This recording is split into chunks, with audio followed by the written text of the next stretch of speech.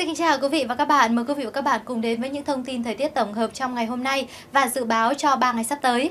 Thưa quý vị, đang trong tháng chuyển mùa nên thời tiết tại các tỉnh thành thuộc khu vực Bắc Bộ, đặc biệt là tại khu vực phía Đông Bắc Bộ, trong đó có thủ đô Hà Nội, cùng lúc sẽ chịu sự chi phối của nhiều hệ thống thời tiết. Vừa là khí lạnh suy yếu, vừa là vùng thấp nóng đang phát triển. Chính vì vậy mà trời nhiều mây, đôi lúc có mưa phùn, đôi lúc lại khô ráo và có nắng. Tuy nhiên thì độ ẩm không khí vẫn còn ở mức cao và sương mù dày vẫn còn bao phủ nhiều nơi trên khu vực.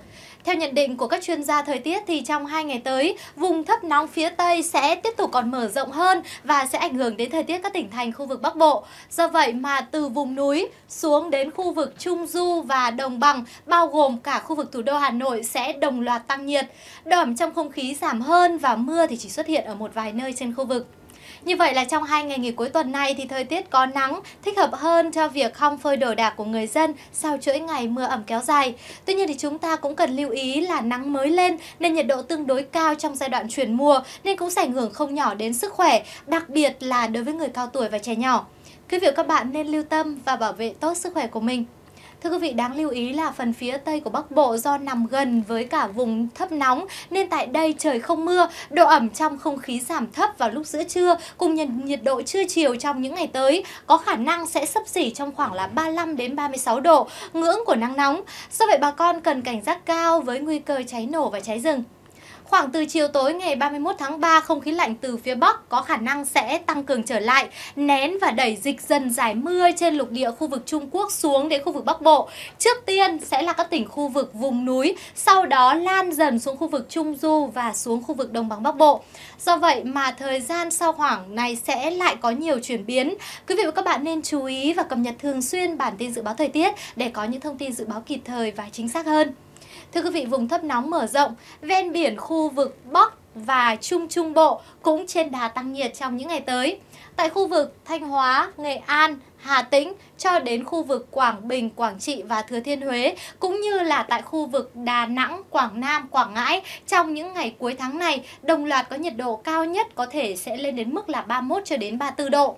Đặc biệt là vùng núi phía Tây của khu vực do hiệu ứng hút gió của vùng thấp nóng tạo hiệu ứng phơn nhẹ nên các tỉnh khu vực như là Tương Dương, Nghệ An, Tuyên Hóa, Quảng Bình hay là tại khu vực Nam Đông của Huế thì còn có khả năng sẽ ở ngưỡng nhiệt nắng nóng. Tuy nhiên với các du khách thì các bãi biển miền Trung sẽ là điểm đến lý tưởng cho chuyến du lịch cuối tuần này với thời tiết nắng giáo, thuận lợi cho các hoạt động lưu thông đi lại.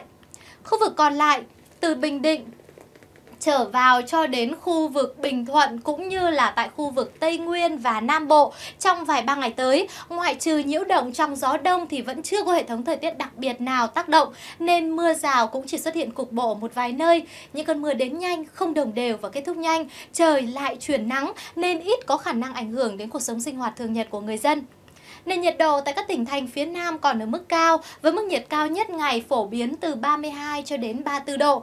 Tại các tỉnh khu vực miền Đông Nam Bộ, bao gồm có Bình Phước, Tây Ninh, Đồng Nai và khu vực thành phố Hồ Chí Minh, nhiệt độ sẽ cao hơn từ 1 đến 2 độ. Và như vậy tình hình khô hạn tại đây vẫn chưa có cải thiện nhiều, còn tiếp diễn và khả năng kéo dài. Bà con khu vực cần chủ động có các biện pháp sử dụng tiết kiệm nguồn điện, nguồn nước trong sinh hoạt và sản xuất. Xin được chuyển sang những thông tin thời tiết biển. Thưa quý vị, trong những ngày sắp tới tại khu vực Bắc và giữa của Biển Đông, bao gồm cả vùng biển của quần đảo Hoàng Sa, trời không mưa, tạnh giáo, tầm nhìn xa thoáng trên 10 km. Gió tại đây thịnh hành theo hướng Nam với cường độ mạnh cấp 5.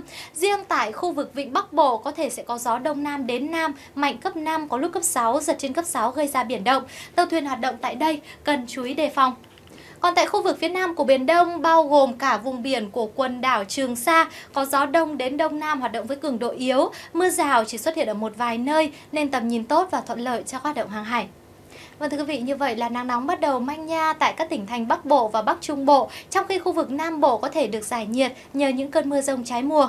Và thông tin này cũng đã khép lại bản tin thời tiết cuối ngày hôm nay. Cảm ơn quý vị và các bạn đã dành thời gian theo dõi. Xin kính chào tạm biệt và hẹn gặp lại.